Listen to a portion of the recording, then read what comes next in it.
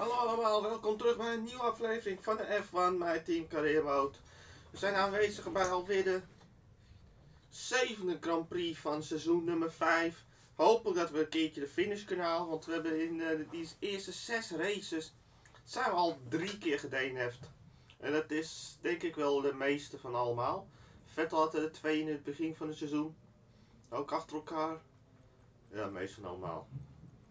Dus uh, ik hoop dat ik mijn Porsche voor dit seizoen wel gehad heb.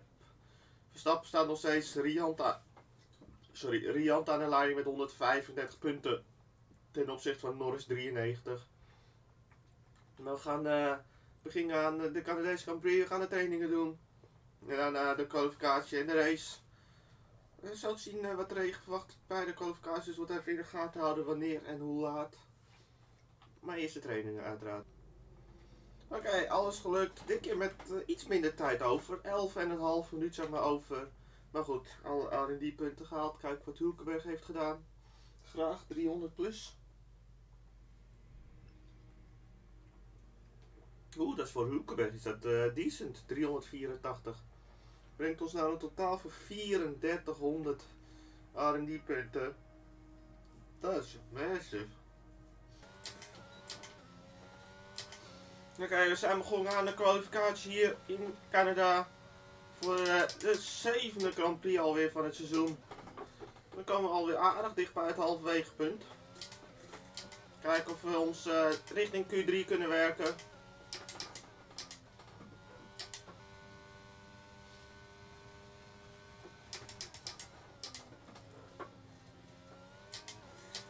Oké, dan gaan we op richting de eindstreep. Kijken wat voor tijd we kunnen neerzetten. Een 1, 10, 4. Dat is op dit moment de 14e tijd.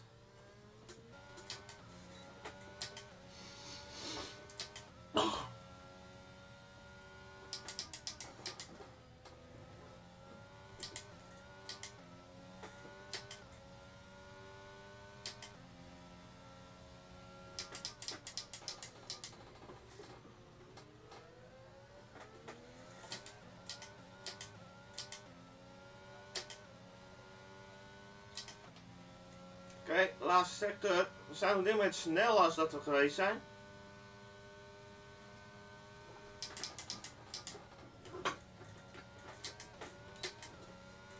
Ook hier win ik iets terug. En zetten we een 1, 10 laag neer voor de 11e tijd. Maar het leek wel alsof die Mercedes helemaal van me wegreed op dat rechte stuk. Echt bizar. En mijn teamgenoot, maar twee tienden snel, dus uh, qua tijd zat het best wel oké. Okay.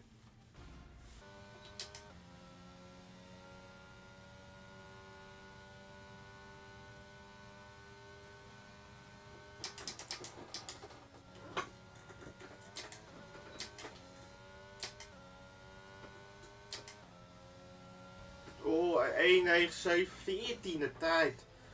Oh, dat is teleurstellend weer, zeg.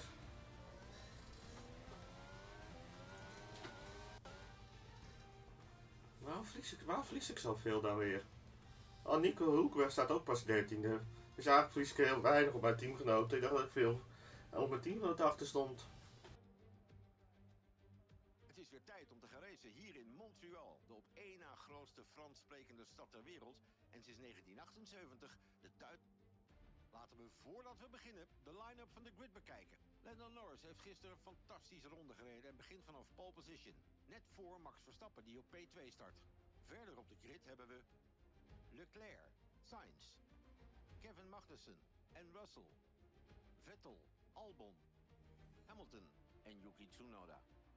Gasly, Zoel, Nico Hulkenberg, de engineer, Oscar Piastri, Schwartzman, Enzo Fittipaldi en Mick Schumacher. Stroll, Bottas, Latifi en Esteban Ocon staat achteraan op de grid. Nu de voorbereidingen bijna klaar zijn, kunnen we richting de baan. Bas van Damme, zoals altijd, weer naast me voor de race. Oké, we hebben de startkit gehad. Een positieve punt trouwens is dat mijn rivaal Esteban Ocon helemaal vanaf de laatste plek start. Gewoon daar gekwalificeerd is ook. We gaan voor medium hards. Maar we gaan de hards gaan we inwisselen voor de softs. Trouwens, ik zet er gewoon erin, want ik weet zeker dat het op softs haalbaar is. Die heb ik al een keer eerder gedaan deze, in deze game. Dus medium soft gaat het worden. Kijk waar de rest staat. eh, Denk, denk veel op softs. Nee, meer op medium. Er zijn wel een paar op softs. Vijf auto's kiezen ervoor om de softband te gebruiken. Maar toch bijna de hele veld op mediums. Het zou eigenlijk wel grappig zijn als ze in eh, vol, volgend jaar games ook eh, wat AI laten starten op hards. Want er zijn gewoon altijd is wel één of twee die gaan starten op hards, behalve in de game. Dus dat is wel jammer. Strategie is voorgesteld medium hards, soft medium medium. Net zoals altijd is dat totaal nutteloos die voorgestelde eh pitstop strategie. En eh, de auto's gaan langzamerhand richting de startgrid klaarmaken om de race in Canada te openen. Kunnen we alsjeblieft de finish halen? Oké, please. We hebben nu al drie races gehad dat ik dat niet heb gedaan.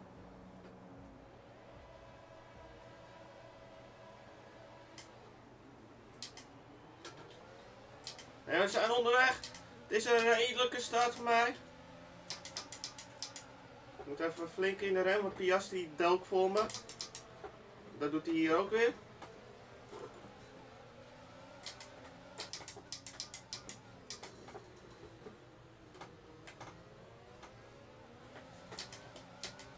Wel een beter exit daardoor uit de hairpin. Ging het diep in. Pakte er helemaal de buitenkant, maar dat werkte wel. Jeetje. Onze motor loopt toch wel echt geen kant, hè? Eh. wat? Eh. ghosting? Eh, half Fittipaldi in dankzij ghosting. Eh. en hier gaan we een beetje over de lijn heen om eh, maar geen contact te maken met Nico Hulkenberg. En zo zijn we ineens weer een plek verder. Maar wat de, wat de hel is dat? Wanneer is er ghosting in eh career mode? Dat heb nog nooit gezien. Hier naar de derde, deze bocht. Ja, goede exit. Ja! Op tijd de auto stilgekregen. Goede inhaalactie op Zoo. Via de binnenkant. Dat zijn de plekken waar ik ze nog wel kan pakken. De amper langs.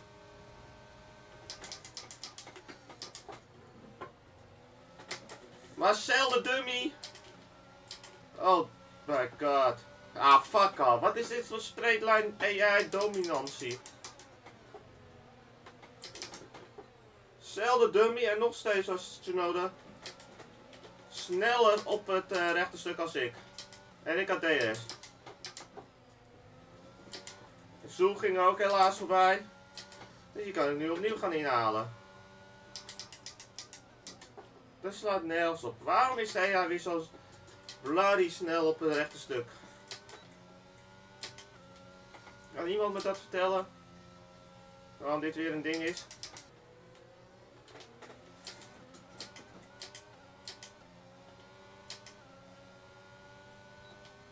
Hier, ik heb DRS. Hier, line speed als.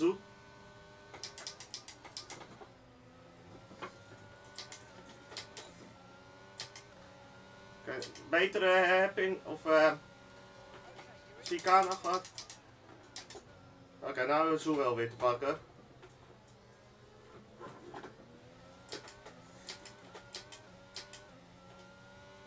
Oef, Almond valt uit. Ah, Albon.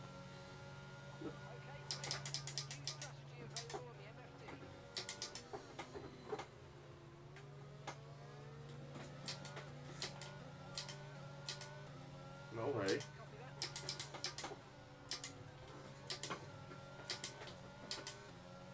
Daar nu de bevestiging te zien.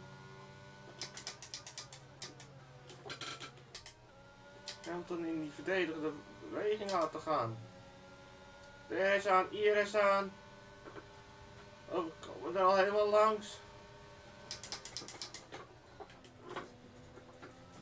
En we zijn er al voorbij. Iets andere als, als de andere moves die ik had gemaakt. We binnenkomen voor ons enigste pitstop.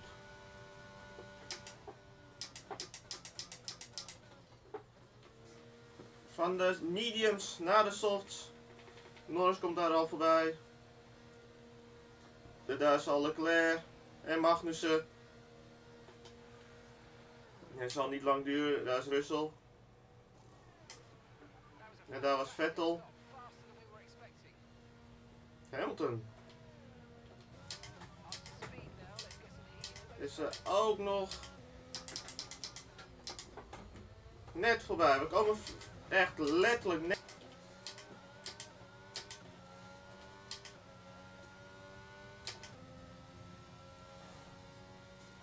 Nog even wachten met Hamilton inhalen.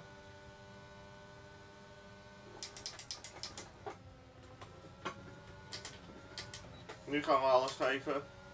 IRS aan, DRS aan. En een zeer simpele passing hier in bocht 1 en 2. Laat hem hier een beetje wijd gaan, maar geen problemen meer.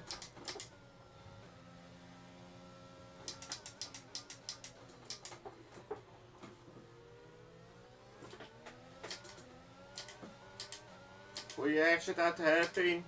IRS helemaal aan. DRS aan. En een simpele move moet dit toch worden.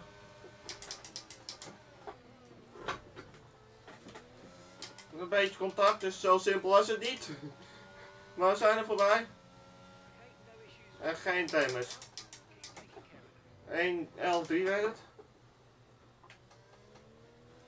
Oh, bijna 7 seconden naar Magnussen.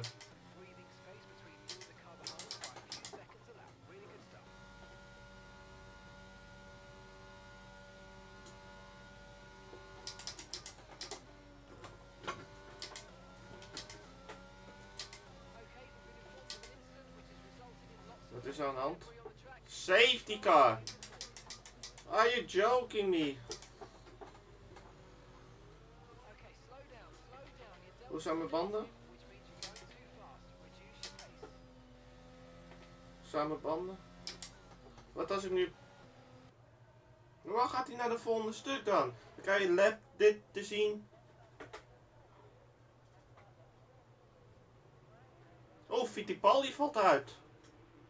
Wat gebeurt daar? Ineens is Fittipaldi in het donker gekleurd.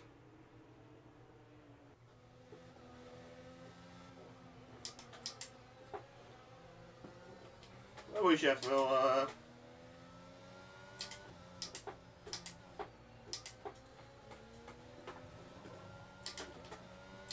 op actief zijn, zeg. Oh, en daar is het... Daar is finishvlag al. Wat is dat, joh? Dit is de... Ah, dit is de tweede keer dat ze dat flikken, zeg. Dit is de tweede keer al dat ik finish onder de safety car. Alleen nu kreeg ik, wil ik nog de laatste meter zelf rijden. Oh my god. Oh, sorry, ik schakel iets te ver door. Stel je het feestje bij McLaren vanavond eens voor. Ongelooflijk. Hartelijk gefeliciteerd. Ze hebben de winst te pakken en ze hebben bewezen dat er niet met hun te zollen valt op de baan.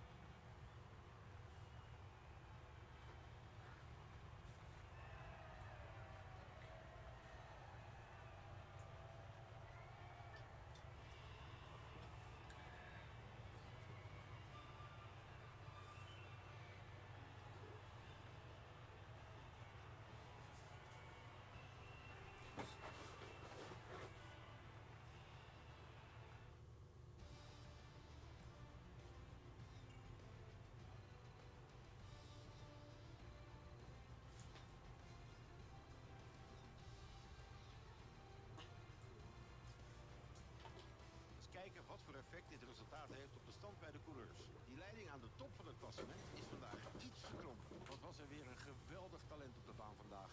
Maar Bas, wie vind jij coureur van de dag? Ik ga voor de engineer. Ze hebben zo hard gevochten en behielden het tempo, dus ik geloof niet dat iemand het vandaag beter heeft gedaan. Het is tijd om naar het constructeursklassement te kijken. Er is geen verandering in de topplaatsen, maar door de punten van vandaag wordt de leiding lastig te behouden. Ondertussen goed werk van het eigenaar-coureursteam dit weekend, die zichzelf verder opdringt. Wie weet wat de sport nou zo'n evenement. Kijk dan weer, wij brengen je de spanning en sensatie van Formule 1. Oké, hier hebben we de einduitslag van de Grand Prix van Canada die op een zeer merkwaardige manier geëindigd is. Achter de safety car. Norris eh, heeft de race gewonnen voor Leclerc, Magnussen, Russell, mezelf, Vettel, Hamilton, Zoe, Verstappen en het eerste puntje voor Nico Hulkenberg in dit seizoen. De uitvallers Sainz, Albon en Fittipaldi, eh, twee rondes voor het ook uitgevallen is. De stand in het wereldkampioenschap is daardoor ook iets, nou, iets spannender geworden. Met Verstappen op de eerste plaats voor eh, Norris, Sainz, Leclerc en Vettel op de vijfde plaats nu. Ik zelf klim op weer terug. Eh, Rechtstreeks eh, makkelijk de top 10 in met eh, nu de achtste plek. Nog 17 puntjes achterop eh op Russell. Kijk naar de teamstandings. Zien dat Red Bull de leiding nog steeds in handen heeft. Oh, daar ietsje minder als wat het daarvoor was. McLaren staat daar op de tweede plaats voor Ferrari, Mercedes en Alfa Tauri staat vijfde. Maar één puntje voor mij. Dus we zitten in de, in de gevecht voor top 5 voor de co- constructeurskampioenschap nu. Mooi, rivaliteit. Meer eh, punten als Ocon. Dat is ook eindelijk eentje die een beetje realistisch was. Ik heb al vijf keer heb ik een rivaliteit heb ik afgeslagen omdat ik een eh, Red Bull kreeg of, eh, of een McLaren. Ja, tot twee auto's heeft de tiende in dezelfde prestatie. Eh, dinges.